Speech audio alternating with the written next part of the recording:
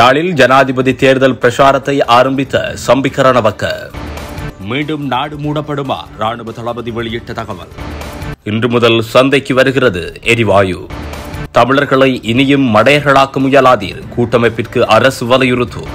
Covid மரணங்களின் எண்ணிக்கை மேலும் அதிகரிப்பு. மின் துண்டிப்பு தொடர்பில் வெளிவந்த புதிய அறிவிப்பு. பயண கட்டுப்பாடுகளை கடுமையாக்கியது பிரித்தானியா. புகை இரதத்தில் மோதுண்டு குடும்பஸ்தர் ஒருவர் உயிரிழப்பு.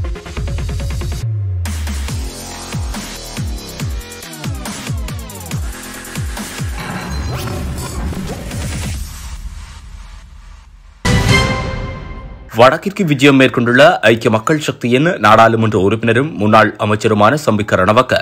அடுத்த ஜனாதிபதி தேர்தலுக்கான பிரச்சார பணிகளை யாழில் ஆரம்பித்திருப்பதாக அறிய முடிகின்றது. அடுத்த ஜனாதிபதி தேர்தலில் எதிரணிகள் பொது வேட்பாளராக. சம்பிக்க ரணவக்க களமிறக்க தெற்கில் திட்டம் வகுக்கப்பட்டுள்ளது என அரசியல் வட்டாரங்கள் கூறுகின்றன. இந்த நிலையில் அதற்கான முன்னாயத்த வியூகங்களில் எதிரணிகள் களமிறங்கியுள்ளன எனவும் தெரிவிக்கப்படுகின்றது. சிங்கள பௌத்த மக்கள் மத்தியிலும் பௌத்த தேரர்கள் மத்தியிலும் சம்பிக்கவிற்கு தனியான இடம் இருப்பதால் ராஜபக்ஷ குடும்பத்தினருக்கு எதிராக அவரை களமிறக்க எதிரணிகள் தீர்மானித்திருப்பதாக கூறப்படுகின்றது. கொரோனாவின் புதிய திரிவான ஒமிக்ரோன் தொற்று நாட்டில் பரவாமல் இருப்பதற்கு அனைத்து நடவடிக்கைகளையும் சுகாதார தரப்பினர் மேற்கொண்டுள்ளதாக கோவிட் தடுப்பு செயலணியின் பிரதானியும் ராணுவ தளபதியுமான ஜெனரல் சவேந்திர சில்வா தெரிவித்துள்ளார். கண்டியில் இன்றைய தினம் இடம்பெற்ற ஊடகவியலாளர் சந்திப்பின் போதே அவர் இந்த விடயத்தினை தெரிவித்துள்ளார். எதிர்காலத்தில் பயண கட்டுப்பாடு விதிக்கப்படுமா என கேள்வி எழுப்பப்பட்ட போதே அவர் இந்த விடயத்தினை தெரிவித்துள்ளார். தொடர்ந்தும் அவர் கருத்து தெரிவிக்கையில் புதிய மாறுபாடு குறித்து வல்லுநர்கள் மாறுபட்ட கருத்துக்களை கொண்டிருப்பதாகவும் அது தொடர்பில் முழுமையாக பகுப்பாய்வுக்கு உட்படுத்திய பின்னர் பாதுகாப்பு குறித்து தெரியப்படுத்துவார்கள். தற்போது மக்கள் சுதந்திரமாக நடமாடத் தொடங்கிவிட்டனர். மக்களுக்கு பரிந்துரைக்கப்பட்ட சுகாதார வழிகாட்டல்களை பின்பற்ற வேண்டும். அவ்வாறு நடந்து கொள்ளாத பட்சத்தில் நாட்டை முடக்குவது தொடர்பில் ஆராயப்படும் எனவும் அவர் மேலும் தெரிவித்துள்ளார். சில நிபந்தனைகளின் கீழ் இன்று முதல் சமையல் எரிவாயுவை சந்தைக்கு விநியோகிக்க நடவடிக்கை எடுக்கப்பட்டுள்ளது. மூன்று நிபந்தனைகளின் கீழ் குறித்த கொள்கலன்கள் விநியோகம் செய்யப்படும் என நுகர்வோர் விவகார அதிகார சபை தெரிவித்துள்ளது. நாடளாவிய ரீதியில் கடந்த பல நாட்களாக எரிவாயுவுடன் தொடர்பான பல்வேறு வெடிப்புச் சம்பவங்கள் பதிவானதை அடுத்து பொதுமக்கள் மத்தியில் அச்சநிலை ஏற்பட்டிருந்தது. தமிழ் மக்களிடம் இந்தியா இருக்கின்றது. எமக்கு தீர்வை தரும் என்று தமிழ் தேசிய கூட்டமைப்பு ஏமாற்றி வருகின்றது.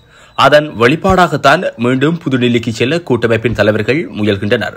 தமிழ் மக்களை இனியும் மடையர்களாக்க முயல வேண்டாம் என்று அவர்களிடம் கேட்டுக்கொள்கின்றோம் என சுற்றுலாத்துறை அமைச்சர் பிரசன்ன ரணதுங்க தெரிவித்துள்ளார். தமிழ் மக்களின் பிரச்சினைகள் மற்றும் அரசியல் தீர்வு விவகாரம் தொடர்பில் பேச்சு நடத்த தமிழ் தேசிய கூட்டமைப்பு விரைவில் இந்தியா செல்லவுள்ளது என வெளியாகியுள்ள செய்தி தொடர்பில் ஊடகங்களிடம் கருத்துரைக்கும் போதே அவர் மேற்கொண்டவாறு கூறியுள்ளார்.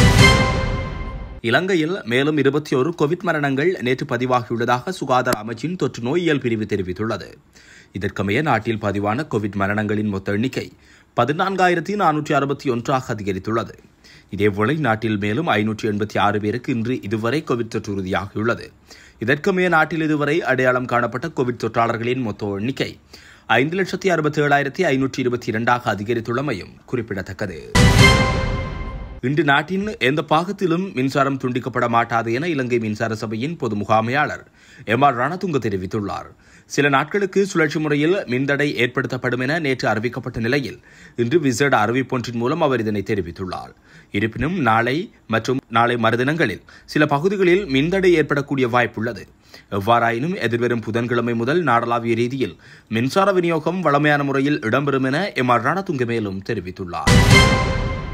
பிரித்தானியாவிற்கு செல்லும் பயணிகள் கொரோனா வைரஸ் பரவுவதை கட்டுப்படுத்தும் முயற்சியில் அவர்கள் புறப்படுவதற்கு முன் கொரோனா பரிசோதனையை மேற்கொள்ள வேண்டும் என அரசாங்கம் அறிவித்துள்ளது. இந்த இறுக்கமான கட்டுப்பாடுகள் எதிர்வரும் செவ்வாய்க்கிழமை முதல் நடைமுறைக்கு வரும் என சுகாதார செயலாளர் சஜித் ஜாவித் தெரிவித்துள்ளார். இதன்படி பிரித்தானியாவிற்குள் நுழையும் பயணிகள் கொரோனா பரிசோதனைகள் மேற்கொண்டமைக்காக ஆதாரங்களை வழங்க வேண்டும் எனவும் அறிவிக்கப்பட்டுள்ளது. மட்டக்களப்பு போலீஸ் தலைமையகத்திற்குட்பட்ட திராய்மடு பகுதியில் புகையிரதத்தில் மோதுண்டு குடும்பஸ்தர் ஒருவர் உயிரிழந்துள்ளார். மட்டக்களப்பு திராய்மடு மூன்றாம் குறுக்கு வீதியில் வசிக்கும் செல்லையா அசோக்குமார் எனும் நாற்பத்தி மூன்று வயது மதிக்கத்தக்க குடும்பஸ்தர் ஒருவரே இவ்வாறு உயிரிழந்துள்ளார். குறித்த பகுதிக்கு வந்த மட்டக்களப்பு மாவட்ட குற்றத்தடயவியல் பிரிவு போலீசார் விசாரணைகளை முன்னெடுத்த அதே நேரம் மட்டக்களப்பு நீதவான் நீதிமன்ற நீதிபதி பணிப்புரைக்கு அமைய களுவாஞ்சிக்குடி பிரதேச திடீர் மரண விசாரணை அதிகாரி சிதம்பரப்பிள்ளை ஜீவரத்தினம் பிரேதத்தை பார்வையிட்டுள்ளார்.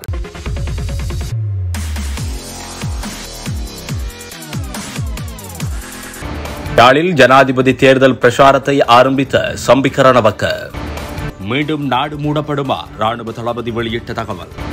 இன்று முதல் சந்தைக்கு வருகிறது எரிவாயு. தமிழர்களை இனியும் மடையர்களாக்க முயலாதீர். கூட்டமைப்பிற்கு அரசு வலியுறுத்து.